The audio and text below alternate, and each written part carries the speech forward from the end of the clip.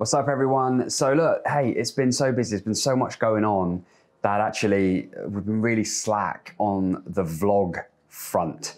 Now, one of the reasons for that is that I was just kind of getting my head down and creating this new company, Tide 55, which I'm now really excited to be sharing with you through this, through the vlog. So, here's a little update um, just to kind of let you guys know where it's all at. I've been a firm believer in recording, documenting the, pro- the process as things develop, letting people in behind the scenes to know what's going on, not only for being able to see what's going on for the here and now, but to be able to look back in the future at this very moment. You know, if I want to show my kids or my grandkids what was going on in the early stages of this new company, then I've got the footage for it. And so I've been doing this now for around about four years. And even before that, I recorded the occasional video diary, is what I would have called it back then.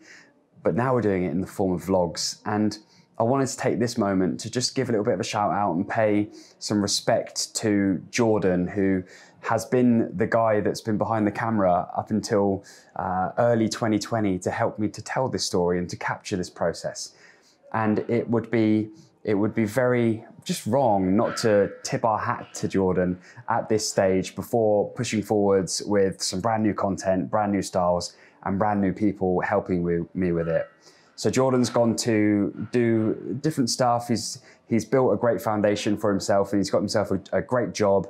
And now he's off, and he's doing that. He's earning a living and enjoying himself. And we wish him all the best, and know that there's always credibility, there's always value in doing different things and following your heart, where you want to be, what you need to be doing at this moment in time in your life.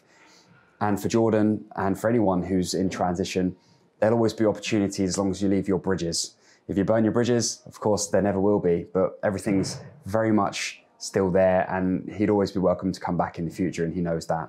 But right now, I'm excited because this is a different chapter of the vlog, but also of you know my journey and this new company. And we have Carlton behind the lens now, and I'm very excited about Carlton being involved. We'll spin around, show you. There he is, and uh, he's going to be sharing the story, and he's going to be doing some really creative stuff. And he's got a load of new ideas that he's going to bring to the table as well. So very excited about that. So just thought I'd kind of set the scene and let you guys know what's going on. Um, and uh, and just to give Jordan a bit of a shout out there and say thank you for being involved up until this point. But life moves on. As long as the world uh, revolves, we evolve, and we're going to push forwards now with more video content in the future. All right, stay tuned. Sweet.